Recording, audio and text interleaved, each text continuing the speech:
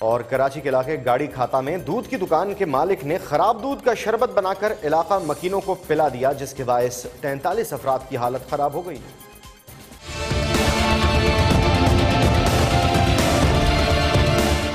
कराची के इलाके गाड़ी खाता साइकिल मार्केट में दूध फरोश ने खराब दूध का शरबत बनाकर बांट दिया, जिसे पीकर बच्चों और बड़ों की हालत खराब हो गई, जिसके बायस उन्हें फौरी तिबी इमदाद के लिए अस्पताल मुंतकिल किया गया, जिनमें 28 बच्चे और 15 बड़े अफराद शामिल हैं। शरबत पीने वालों की हालत गैर होने पर इलाका मकीनों ने दूध फरोश की दुकान पर धावा बोल दिया जहाँ पर दूध की दुकान का मालिक तो नहीं था। तहम इलाका मकीनों ने मुलाजिमों को घेर दिया ये जो मेरा सबसे छोटा वाला बेटा था ना उसको अचानक इतनी वॉमिटिंग इतनी वॉमिटिंग पेट में दर्द अलग उसको। सुबह इन लोगों ने ये दूध बांटा है।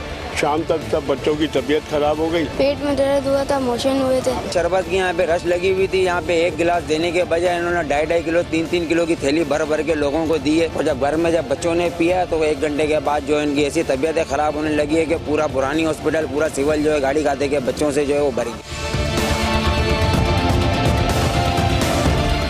एक मुलाजिम ने बताया कि सात मन खराब दूध में मालिक ने शरबत बनाकर बांटने का कहा था। पुलिस ने दुकान के चारों मुलाजिमों को हिरासत में लेकर थाने मुंतकिल कर दिया है। सात मन दूध छुटा हुआ था उसका शरबत बांटा है मेरा कोई कसूर नहीं। और आपके किसने बोला था आपको ये करने के लिए? हमारे सेठ ने सेठ का नाम किया है? उमर